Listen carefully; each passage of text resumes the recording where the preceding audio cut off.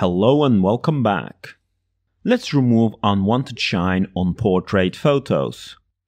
There are multiple ways of achieving this. In this video, I will share one of the easiest methods. Let's first start by adding an empty pixel layer by pressing the new pixel layer icon in the channels panel. The idea is to patch the shine areas in the face from areas that do not have the shine. For this, I will use the Patch tool from the Tools bar.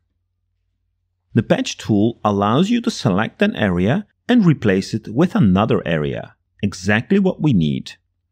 You might wonder why I started by adding a pixel layer first. Well, I want to work non-destructively, meaning I don't want to alter the original layer. So the patching I'm going to do will be on this pixel layer. This way, the original image stays intact. To get the patch tool working correctly on the current empty pixel layer, we need to make sure it samples from current layer and below. This will allow the tool to treat all the layers as one layer, but the changes will be made in the selected layer. Perfect. I hope that makes things clear. Now, I just select an area with shine by pressing and holding the left mouse button. When I release my mouse button, the area is set and I can now move my mouse to an area I want to use which doesn't have the shine. In this case, I think the area around the model's forehead on the top right is suitable. As you notice, Affinity will show you a preview of the end result while moving the mouse. When you click with the mouse on the area, it will be applied. I can now continue the same process for all the other areas. So let me do that for the area above her eye and the shines on her nose by selecting it and sampling it from an area without shine. Perfect. We removed the shine. Easy peasy. Let me turn off the layer to see the before. Pretty cool how they are removed when I turn back on the layer. One final step to make it blend in better is to set the layer to darken blend mode. This way, we probably keep some of the original pixels in the face and only darker pixels will be painted on.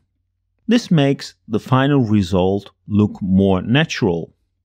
If you think the effect is too much, you can always lower the opacity, which I would definitely advise just to make it look more natural. One thing I like to do sometimes is to add a curves layer and lower the brighter areas. This affects the whole image of course, but if I open the blend options from the cogwheel in the channels panel and adjust the underlaying layers blend curve just applies a little bit on the mid bright areas, the effect is almost neutralized and helps with blending the layer in a more natural way. Again, this depends on the image and on this image the effect is very minimal. Basically that's it. In the next upcoming videos, I will share another technique for removing shines, which in some cases might work better. If you're interested, keep watching as I will do some more adjustments to this image. If you're still watching, the next step we're going to do is to highlight the eyes, which I will do by adding a curves adjustment in which I will increase the highlights. Let me invert its mask with Command I and then paint with white on the eyes to brighten them. To give the eyes but also the face a bit more contrast, I will add another curves adjustment, but this time I will adjust it to darken the image. As I only want specific areas to be darkened, I'm going to invert it with Command I. With a soft white brush, I will paint around her eyes and continue painting on the hair and the face so that we get a bit more depth in the image.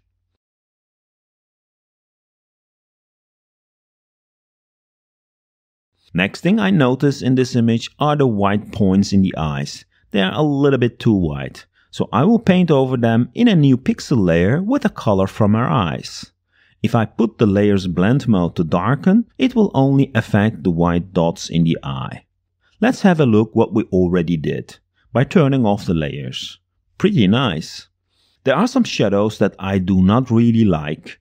Just like with removing shines, I will use the patch tool on a new pixel layer and sample from lighter areas. This time, however, the layer will be sent to lighten mode as we just want to lighten the shadows.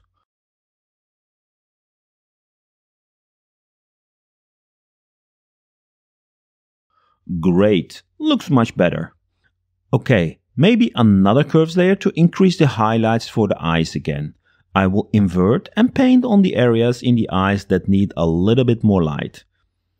I think the right side of the eyes need it as the light is coming from that side. And of course, we can always adjust the curve so we get the brightness we are looking for. Optionally, just for fun, let me add another curves layer in which I will increase the greens. I will invert it and paint on the eyes to make the eyes more green. To wrap up, some fine adjustments like some extra brightness on the eye white and opacity control to dim down the effects. And here is a before and this is our after. Not bad in 10 minutes. Thank you very much for watching and don't forget to hit the like and subscribe button if you like this video. Until next time.